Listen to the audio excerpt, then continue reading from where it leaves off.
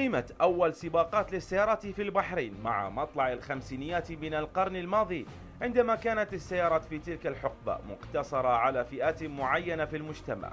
تشمل أبناء العائلة الحاكمة والإنجليز الذين كانوا يعملون في شركة نفط البحرين بابكو مع عدد من أبناء العائلات أو التجار البحرينيين. وهو ما دفعهم لإقامة سباقات يتنافسون فيها بسياراتهم المتواضعة آنذاك. ومما ساعد على تنظيم هذه السباقات بشكل منظم ودوري. تأسيس نادي البحرين للسيارات في الثالث والعشرين من نوفمبر عام 1952 على يد مجموعة من الشباب البحرينيين والإنجليز. وكان المغفور له بإذن الله تعالى. الشيخ عيسى بن سلمان الخليفة طيب الله ثراه الرئيس الفخري للنادي حينما كان وليا للعهد آنذاك. وترأس أول مجلس إدارة للنادي أحمد كانو والسكرتير إيلين والأمين المالي جي ثيرمسون وضم مجلس الإدارة في عضويته ميرول وسميث وخليل كانو وعبد الرحمن الزياني وفي الثاني عشر من ديسمبر عام 1952 أقيمت فعالية للنادي وكانت عبارة عن دعوة مفتوحة لأصحاب السيارات والدراجات النارية للمشاركة في سباق العام تبعت بفعالية أخرى يوم التاسع من يناير عام 1953 وهي سباق البحث عن الكنز الذي استمر ساعتين.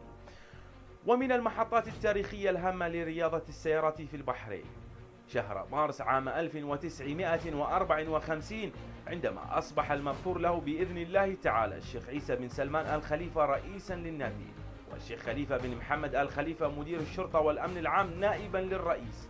وفي تلك الفترة بدأ النادي يتجه نحو تطوير علاقاته الدولية مع الأندية والاتحادات الرياضية المعنية باللعبة في دول العالم فحصل في أغسطس عام 1953 على عضوية اتحاد السيارات البريطاني وأبرم اتفاق بين الطرفين يسمح بموجبه لأعضاء الناديين بتبادل الزيارات واستخدام مرافق الناديين.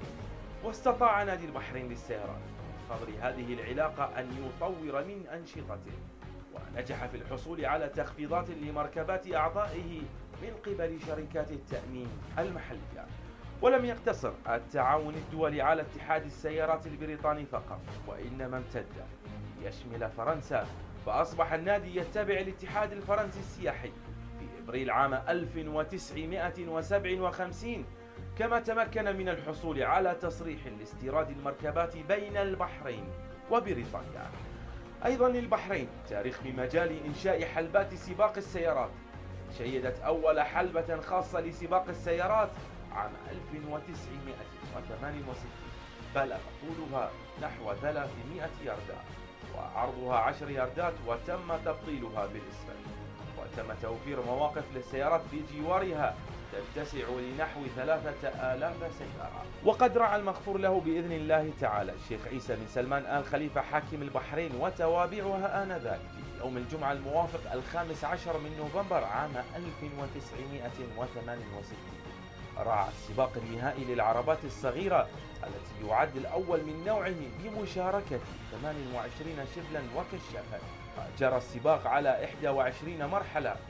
وستة للأشبال وأربعة عشر للكشافات وذلك بدعم وتمويل من مؤسسات القطاع الخاص.